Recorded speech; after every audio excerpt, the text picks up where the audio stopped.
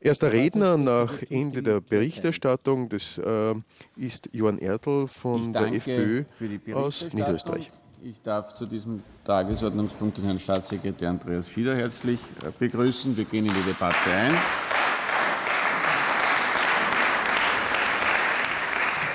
Wir gehen in die Debatte ein. Zum Wort äh, gemeldet ist der Herr Bundesrat Johann Ertl. Bitte, Herr Kollege.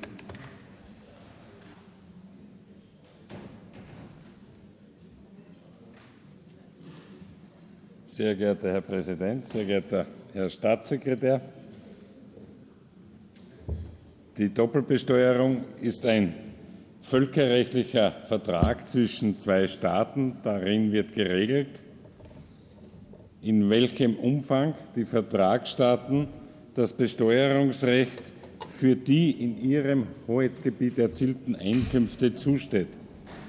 Eine Doppelbesteuerung soll vermeiden, dass natürliche Personen oder juristische Personen, die in beiden Staaten Einkünfte erzielen, auch in beiden Staaten, also doppelt besteuert werden. Zur Besteuerung werden vier Prinzipien herangezogen. Bitte? Was? Zur, Entschuldigung. Zur Besteuerung werden vier Prinzipien herangezogen. Das Wohnsitzlandprinzip, das Quellenlandprinzip, das Welteinkommensprinzip und das Territorialprinzip.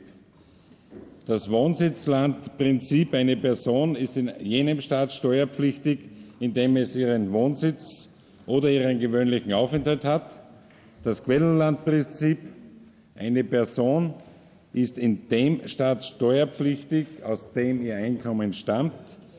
Das Welteinkommensprinzip, der Steuerpflichtige wird mit seinem Welteinkommen besteuert und das Territorialprinzip, der Steuerpflichtige wird nur mit dem Einkommen veranlagt, das er auf dem Territorium des betreffenden Staates erwirtschaftet hat. Um die einzelnen Mitgliedstaaten bei der Abfassung der Abkommen zu unterstützen und damit auch die Doppelbesteueraufkommen zu vermeiden, werden von der OECD in regelmäßigen Abständen Musterabkommen erarbeitet. Die Bemühungen der OECD gipfelten dann in einer Änderung dieser Musterabkommen, wonach eine Auskunftserteilung nicht verwehrt werden darf, weil sich die erbetene Information im Besitz einer Bank befindet. Und damit wurde das Bankgeheimnis in Österreich zumindest für Ausländer aufgeweicht. Das Auskunftsersuchen der ausländischen Finanzbehörde richtet sich an die österreichische Abgabenbehörde. Diese hat zu prüfen, ob die Voraussetzungen für die Auskunftserteilung vorliegen.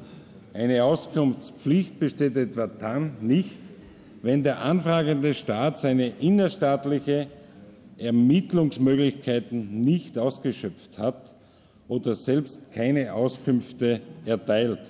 Ich frage mich, wie ein Staat einen anderen Staat hier kontrollieren kann.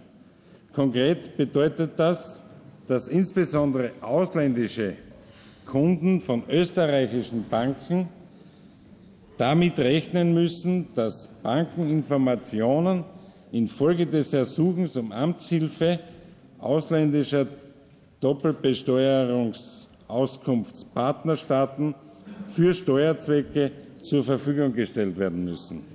Umgekehrt, umgekehrt erhält nunmehr auch Österreich die Möglichkeit, seinerseits Bankenauskünfte über ausländische Steuerverwaltungen nachzufragen. In, in den, ich frage mich, wer da einen Vorteil hat. Welcher Staat? In den letzten Jahren hat sich der Druck aus dem Ausland auf das, auf das österreichische Bankgeheimnis stetig erhöht. Vorläufiger Höhepunkt war, als die OECD drohte, Österreich auf die schwarze Liste der Steueroasen zu setzen, falls wir diese Grundsätze nicht übernehmen.